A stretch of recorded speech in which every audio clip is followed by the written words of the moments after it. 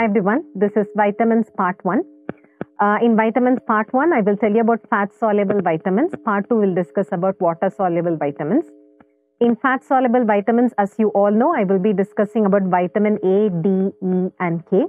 To begin with, what are the differences between fat soluble vitamins and water soluble vitamins? As fat soluble vitamins are non-polar, their absorption is dependent on fat absorption. So, if there is any clinical condition which is resulting in fat malabsorption or steatorrhea, that can result in vitamin A, D, E, and K deficiencies. That is point number one. And point number two is they can be stored. All fat soluble vitamins can be stored in liver and in adipose tissue. Because they can be stored, all these deficiencies, vitamin A, D, E, K deficiencies, are not as common as what you would observe for water soluble vitamins. That is point number two. And because they can be stored, toxic manifestations are common in fat soluble vitamins. So, these are the three basic facts that you have to remember. Now, about vitamin A, what are the three forms of vitamin A? The first one is the alcohol form, which is retinol. And the second one is the aldehyde form, which is retinal. And the third one is the acid form, which is retinoic acid.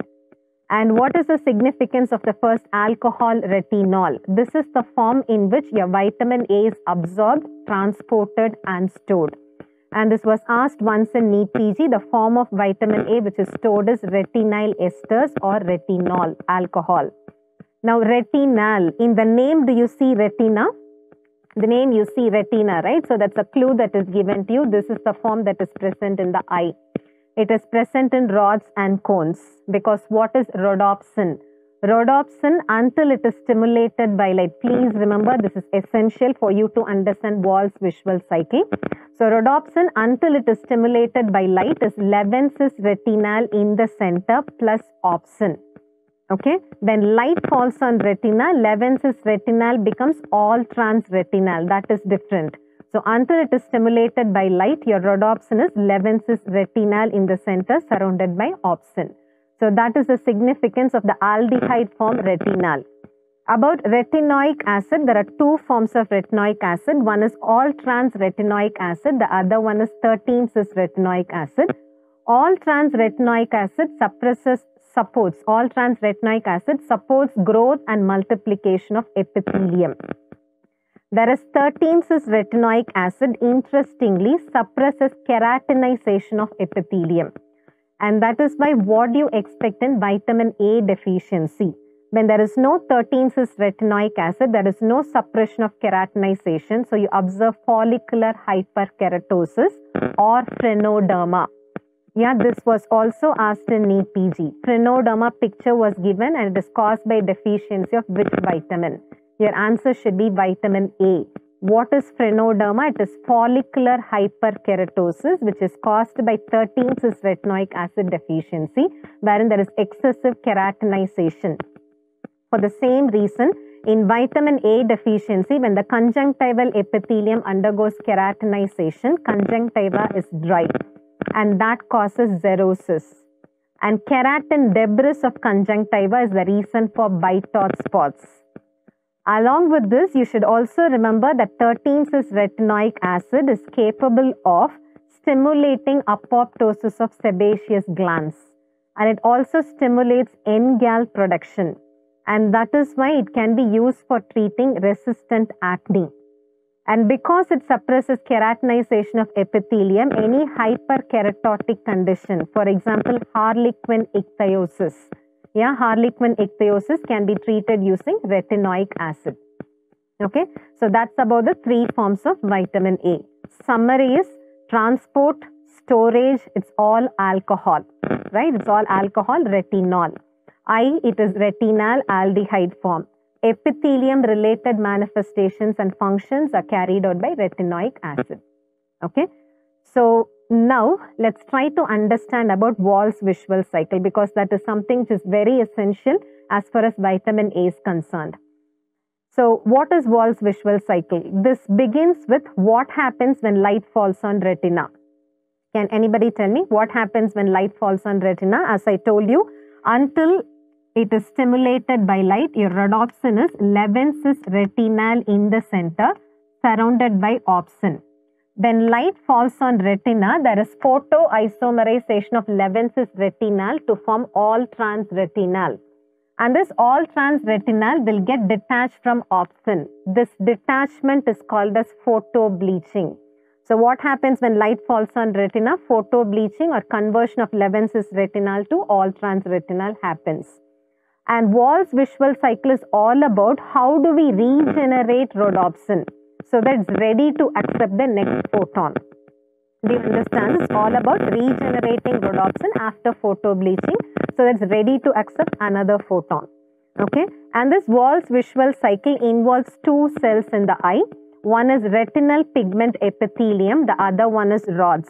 Ultimately, only these, these two cells, retinal pigment epithelium and rod cells. And to understand Wald's visual cycle, there are three facts that you should remember. Okay, the first fact just now I told you, rhodopsin is 11 cis retinal in the center. Right? Rhodopsin is 11 cis retinal in the center. But what is the form in which vitamin A is transported? It is transported as all trans retinol. It is transported as all trans retinol. So what you are supposed to do is you should convert this all trans retinol to 11 cis retinal. Only then you can regenerate rhodopsin.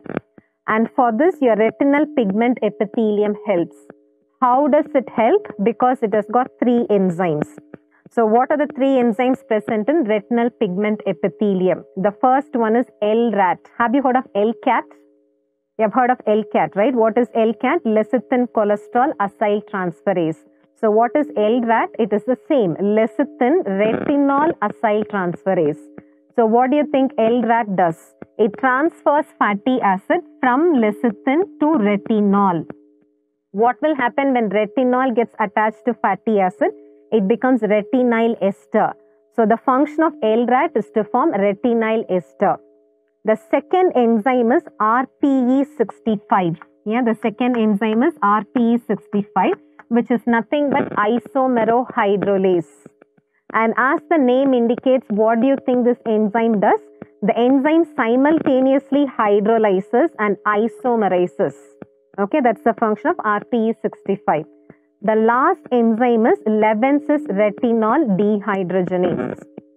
So have you memorized this list? Only if you know this list, you will understand Wald's visual cycle. So what are the three enzymes present in retinal pigment epithelium? The first one is LRAT, which is lecithin retinol acyl transferase. The second one is RPE65, which is isomerohydrolase. And the last one is 11-cis retinol dehydrogenase. Okay. So now I'm going to draw Wald's visual cycle so that you understand it clearly.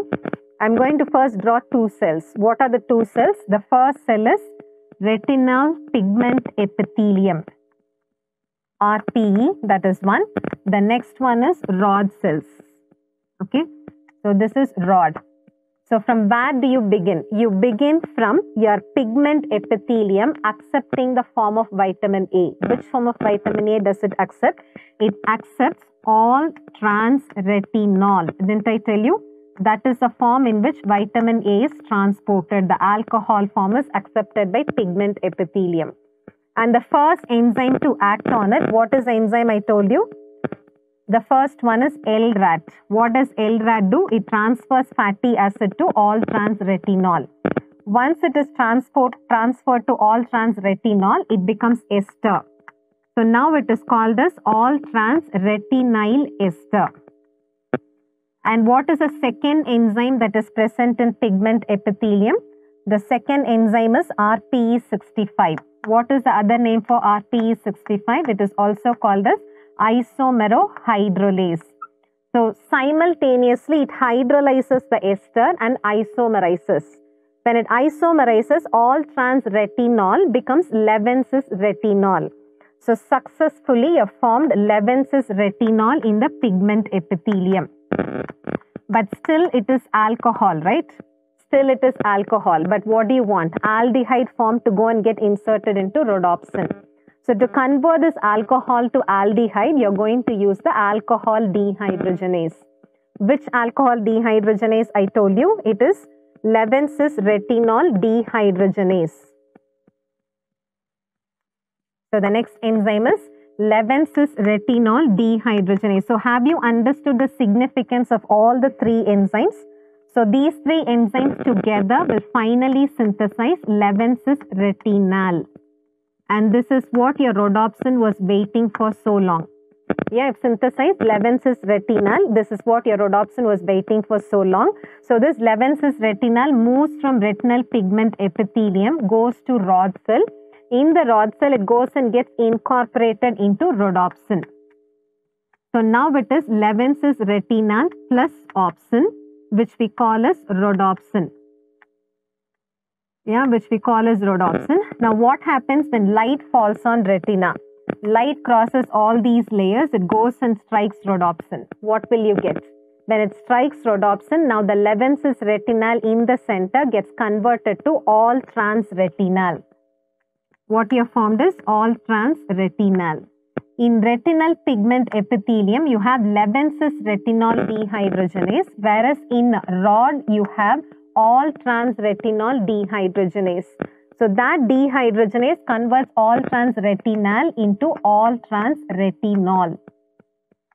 And this is the form in which it is transported in circulation. So this comes out of rod and it reaches the circulation. Okay, so this completes Wald's visual cycle. Have you understood this? So what is about Wald's visual cycle? It tells you how do you generate rhodopsin and how do you regenerate rhodopsin. How do you generate rhodopsin? Generation is you start from all trans retinal which is taken up from the circulation by retinal pigment epithelium. The first enzyme is LRAT which converts it into retinyl ester. Then it is isomerohydrolase which converts retinyl ester to 11-cis retin, uh, retinol. 11-cis retinol becomes 11-cis retinal with the help of alcohol dehydrogenase. That goes to rod, it goes and gets incorporated into opsin forming rhodopsin. When light falls on retina, 11-cis retinal now becomes all trans retinal. All trans retinal in the presence of dehydrogenase becomes all trans retinol that reaches circulation.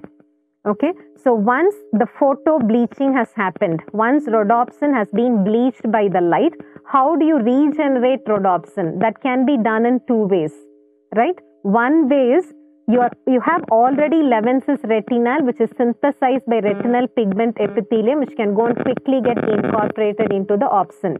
But for that there should be adequate vitamin A in the system, right? Otherwise what should you do? It should be recycled if there is adequate vitamin, already the retinal pigment epithelium will be ready with one all trans retinal which goes and gets incorporated. Whereas if there is not adequate vitamin A, then this uh, all trans retinal should be recycled back. That will take a longer time and that is the reason for delayed dark adaptation time that is seen in vitamin A deficiency. So this is about Wald's visual cycle. This is about vitamin A. I hope it's clear.